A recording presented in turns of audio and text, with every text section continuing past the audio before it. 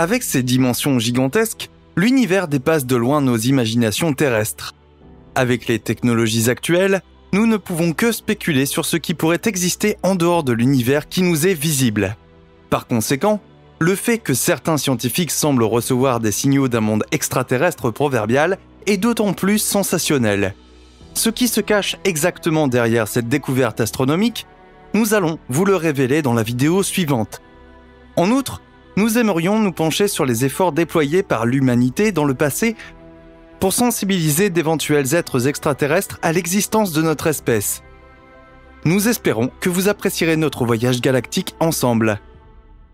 Si vous appréciez nos vidéos, n'hésitez pas à nous encourager en laissant un pouce bleu et en vous abonnant à Simply Space. Et préparez-vous à recevoir de nombreuses autres vidéos fascinantes à l'avenir.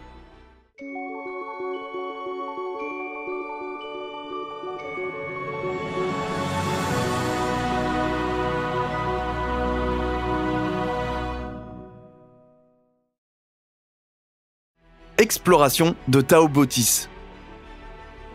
Récemment, une annonce en provenance du monde de l'astronomie a fait les gros titres parmi les experts.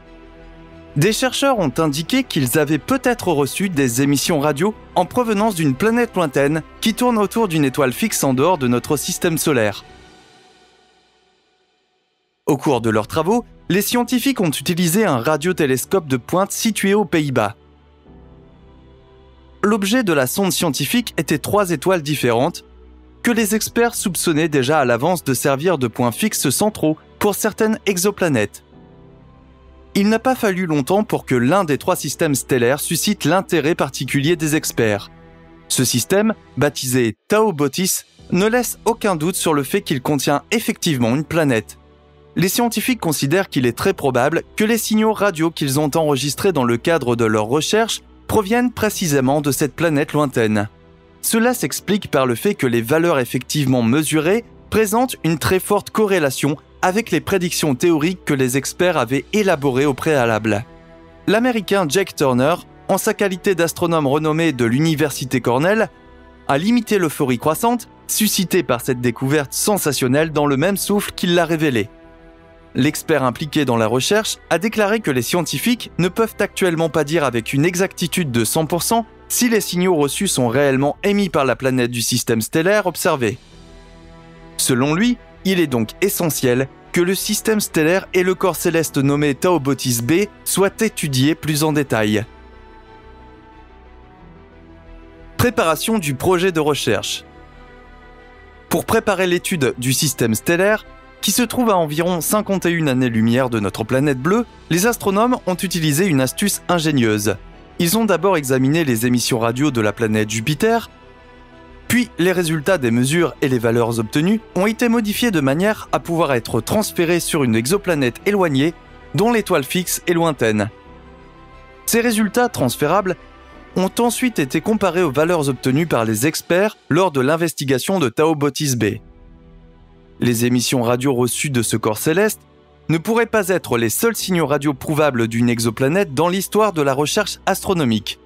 En conséquence, les experts estiment qu'il est possible qu'ils aient également reçu des signaux de l'étoile Upsilon Andromedae ou de sa planète. Toutefois, comme les relevés correspondants étaient encore plus faibles et plus vagues que dans le cas de Tau Botis b, les scientifiques font encore preuve d'une prudente retenue pour l'instant, avant que le phénomène ne soit examiné plus en détail. Pourquoi l'étude des ondes radio est si importante? À ce stade, on peut se demander pourquoi l'étude des ondes radio des planètes étranges est si appréciée dans le monde de la recherche astronomique. Cela s'explique par le fait que les valeurs mesurées de ce type peuvent aider les scientifiques à dresser un tableau encore plus précis de l'état structurel des exoplanètes et de leur environnement direct.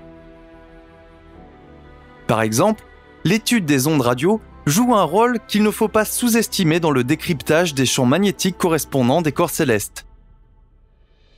L'intensité des champs magnétiques a, à son tour, une influence directe sur les conditions qui règnent sur les planètes elles-mêmes. Pour rappel, le champ magnétique de notre planète sert à protéger notre atmosphère, sans laquelle, comme nous le savons, la vie n'aurait pu se former sur notre planète. Cependant, pour la science moderne, l'étude directe des champs magnétiques des corps célestes lointains reste assez compliquée.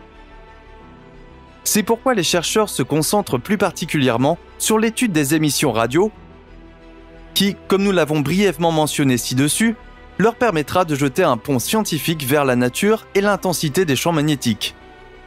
Il faudra probablement un certain temps avant que les experts puissent dire avec certitude d'où proviennent réellement les signaux radio. Toutefois, si la théorie selon laquelle les données recueillies proviennent en fait de Tau Botis B s'avère vraie, cela équivaudrait à un Big Bang astronomique. Jamais auparavant les scientifiques n'avaient réussi à enregistrer les émissions radio des exoplanètes. Nous sommes curieux de voir les résultats qu'apporteront à l'avenir les investigations qui se poursuivent encore. Alors que nous avons maintenant traité des signaux de planètes étrangères que nous pourrions éventuellement capter sur Terre, nous aimerions à présent renverser la table galactique.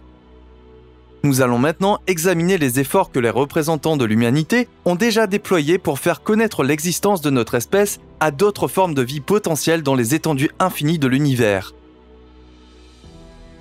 Le message d'Arecibo. Le 16 novembre 1974, quelques scientifiques, sous la direction de l'astrophysicien Frank Drake, lancent ce qui est encore aujourd'hui un projet unique.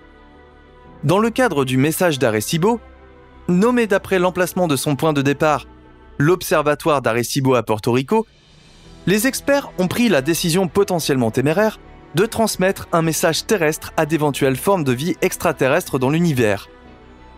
En utilisant les ondes radio, les experts voulaient donner aux extraterrestres quelques informations sur le mode de vie et le passé de l'humanité, ainsi que sur la Terre elle-même. L'amas globulaire M13, situé dans la constellation d'Hercule, et donc à environ 25 000 années-lumière de notre planète bleue, a été choisi comme point cible de cette entreprise extraordinaire. Comme ce gigantesque amas globulaire compte plus de 300 000 étoiles individuelles, les experts de l'époque espéraient trouver un corps céleste habité au milieu d'un espace aussi densément peuplé. À la base, le message d'Arecibo contenait différents codes binaires et était constitué de 1679 bits au total. Cependant, cette méthode de transmission exigeait que le destinataire potentiel ait de solides connaissances en mathématiques. Ainsi, les extraterrestres n'auraient pas été en mesure de comprendre le message envoyé par la Terre au premier coup d'œil, mais auraient dû d'abord décomposer le code reçu en ses facteurs premiers, puis le réarranger sous forme d'image.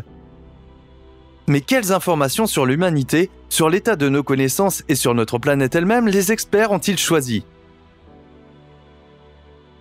Le contenu du message d'Arecibo.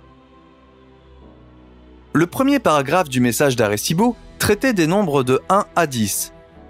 Une connaissance commune pour tous.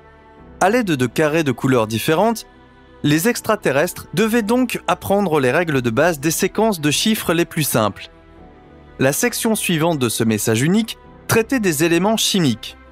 Ainsi, la séquence de nombres contenus 1, 6, 7, 8, 15 représentait les matériaux chimiques hydrogène, carbone, oxygène et phosphore. Le contexte était que les éléments mentionnés ci-dessus représentent des composants extrêmement importants de notre biochimie planétaire et décrivent également les matériaux qui forment l'ADN humain. Alors que le paragraphe suivant traitait des nucléotides, c'est-à-dire des éléments constitutifs détaillés de notre ADN, le quatrième paragraphe traitait de la structure de notre matériel génétique. Les premiers paragraphes du message d'Arecibo donnait donc une première impression assez complète de la nature biochimique de notre espèce et le passage suivant faisait un clin d'œil à l'anatomie humaine. La forme moyenne d'une personne adulte y était décrite par des croquis grossiers. De plus, la section correspondante contenait des informations sur le nombre total de la population mondiale. Ensuite, les extraterrestres pouvaient regarder un diagramme de notre système solaire sur lequel étaient représentées les différentes planètes ainsi que le Soleil dans leur rapport de taille et leur distance approximative.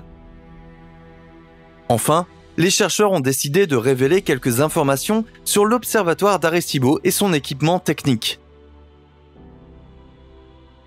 Réaction et critique.